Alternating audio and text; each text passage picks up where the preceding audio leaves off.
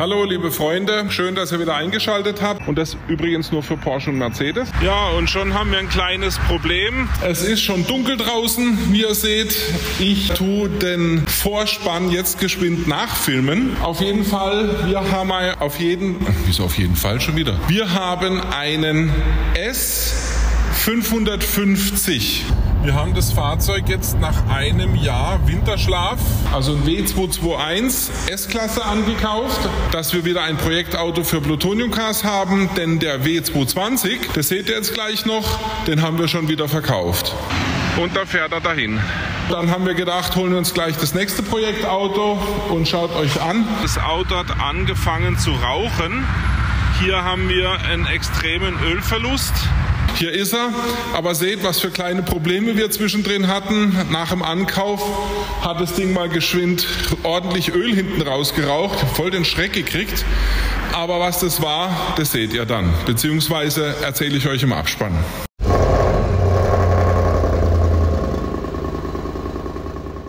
Ja, meine Lieben, genauso schnell wie ich den S320 angekauft hatte, genauso schnell ist er wieder verkauft. Wir verabschieden uns von dem Fahrzeug. Es hat unheimlich viel Spaß gemacht, die zwei Wochen sich mit diesem Fahrzeug zu beschäftigen. Ich denke, der Käufer hat erkannt, um was für eine super Substanz es sich hier handelt, hat sofort zugeschlagen, das Auto gekauft und weg ist er.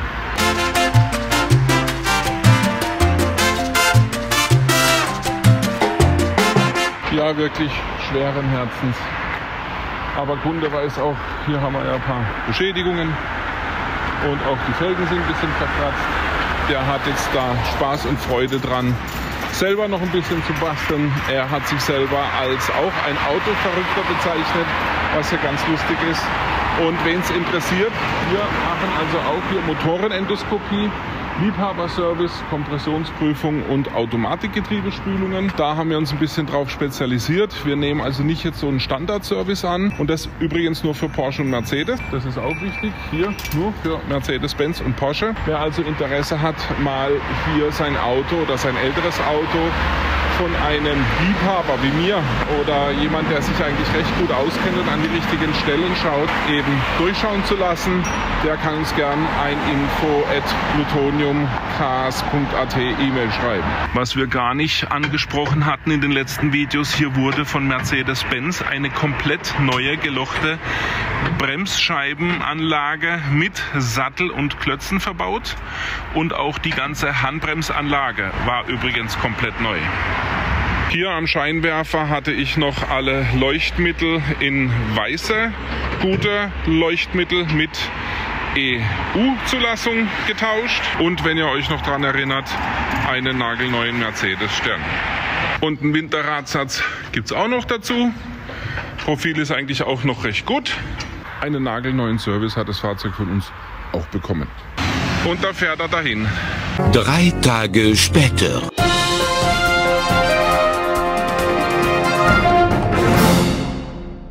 wie ihr seht, haben wir das Auto gekauft. Ich bin jetzt auf der Autobahn zurück Richtung Wels. Es ist so, dass ich gerade an der Tankstelle war und habe das Auto getankt und habe feststellen müssen, dass auf Bank 1 Zylinder 4 das oben bei der Zündspule irgendwie Öl leckt. Es raucht auch ein bisschen da vorne. Aber das war jetzt weitgehend nicht so wild, dass ich äh, gesagt habe, ich muss das Auto abschleppen, sondern ich fahre es tatsächlich nach Hause. Ja, was kann ich hier über dieses Fahrzeug berichten? Auf jeden Fall, es ist ein S55. In Amerika hatte der die erste Zulassung ist in einem hervorragenden Zustand. Der Innenraum ist sensationell. Hat 269.000 gelaufen und den Preis, den ich bezahlt habe, für das, was man hier kriegt, absolut in Ordnung. Ja, das heißt, jetzt hoffen wir, dass wir das Auto hier gut nach Hause kriegen. Ich drehe jetzt auch mal die Kamera um, zeige euch mal ein bisschen hier noch das Dashboard. Aber dann wird es definitiv weitergehen. Wenn das Fahrzeug in der Halle ist und ich ein bisschen mehr Zeit habe, mich um das Fahrzeug zu kümmern, dann werde ich euch das nochmal richtig vorstellen. Ich werde auf jeden Fall noch eine kleine finale Runde ums Fahrzeug nachher filmen, wenn es gewaschen ist. Ich drehe jetzt aber mal die Kamera um. Das Ganze kennt ihr ja schon. Ich habe eine kleine Fehlermeldung hier mit der Parkbremse. Da leuchtet es ordentlich im Display, aber er fährt trotzdem. Er ist vom Innenraum wirklich im herrlichen Zustand. Auch alle Funktionen soweit bis auf die Parkbremse und das Softclose hier von der Fahrertür 200 ja, 269.000 gelaufen. Der Grund, warum ich dieses Fahrzeug gekauft habe, ist folgender. Der Verkäufer hat mir Bilder geschickt und zwar wurde hier, die blende ich übrigens auch ein, wurde hier die Steuerkette mitsamt den Gleitschienen, alle Rollen, alles was da vorne irgendwie beim Steuerkettentausch zu machen ist, vor 20.000 Kilometer komplett getauscht.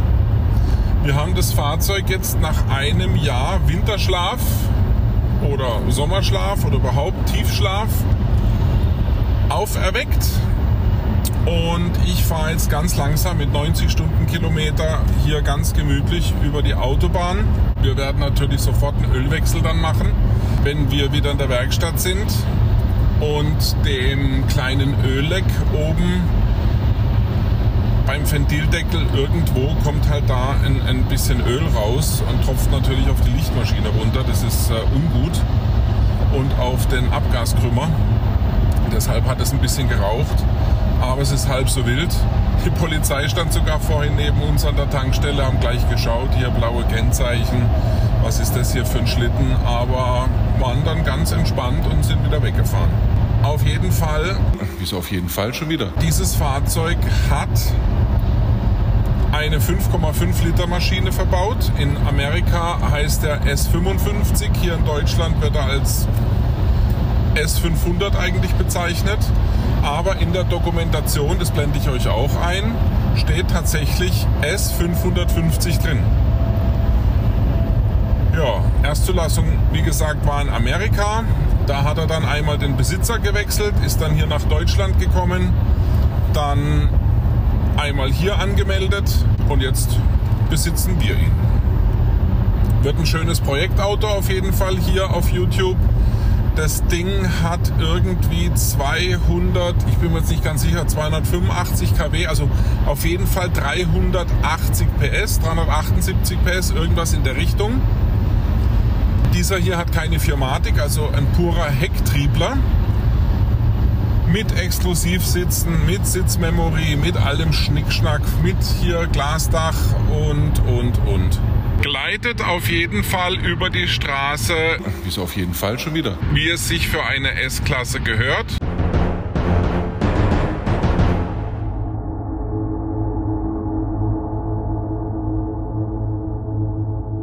Ja, und schon haben wir ein kleines Problem. Circa 100 Kilometer von zu Hause. Das Auto hat angefangen zu rauchen.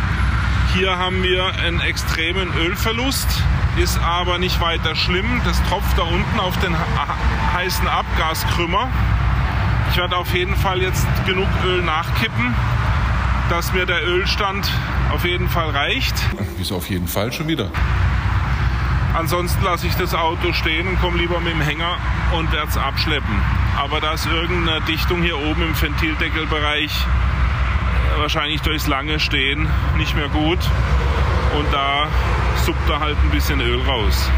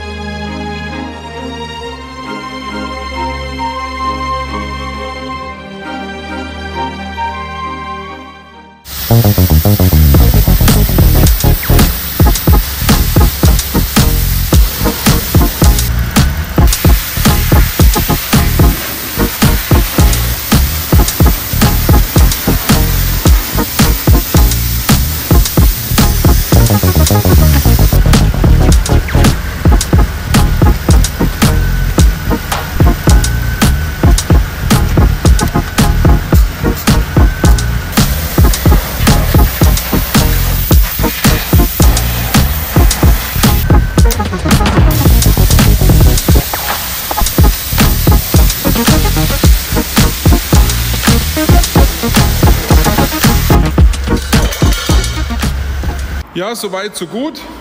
Wir sind auf jeden Fall in der Werkstatt hier angekommen. Auto steht schon auf der Bühne. Morgen die erste Maßnahme wird sein, sofort einen Ölwechsel machen, sofort alles durchchecken, auslesen, schauen, ob alles passt. Ansonsten vielen Dank fürs Zuschauen und wir haben, wie gesagt, ein neues Projektauto und verfolgt uns weiter, indem ihr den Kanal abonniert bzw. die Glocke drückt, werdet ihr über neue Videos informiert. Ja, und so viel jetzt mal zu dem wunderschönen B221 S-Klasse S550 oder S55 oder wie man hier in Europa sagt S500, weil es eine 5,5 Liter Maschine. Dieses Auto kommt aus Amerika.